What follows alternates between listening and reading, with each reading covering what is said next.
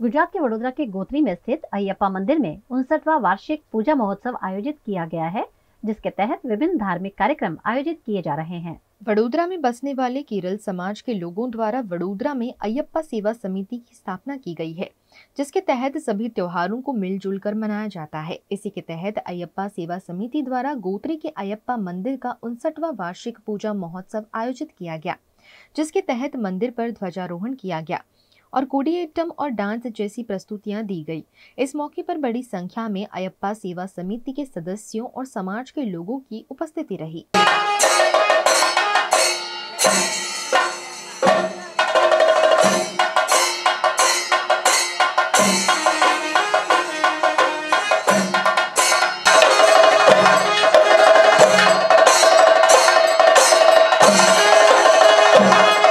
इस मौके पर वडोदरा महानगर पालिका के डिप्टी मेयर चिराग बारोट, अयप्पा सेवा समिति के अग्रणी मोहन नायर, राजन नायर समेत के सदस्य मौजूद रहे। मंदिर का ट्वेंटी फ़र्स्ट आनुअल पूजा और महोत्सव का आयोजन किया गया है।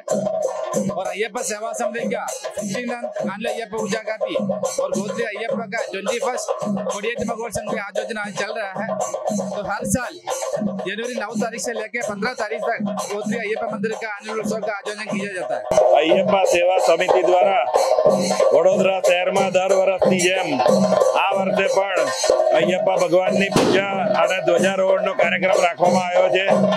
છેલ્લા ઘણા વર્ષોથી આ સંસ્થા જોડે હું જોડાયેલો છું ને દર વર્ષે આ તહેવારમાં મને ભાગ લેવાનો મોકો મળે છે અને ભગવાનના દર્શન અને આશીર્વાદ મેળવું છું. વડોદરા શહેરમાં આ ઓગણસાઠમાં વર્ષની પૂજા છે અને આ મંદિરની સત્યાવીસમાં વર્ષની આ પૂજા છે.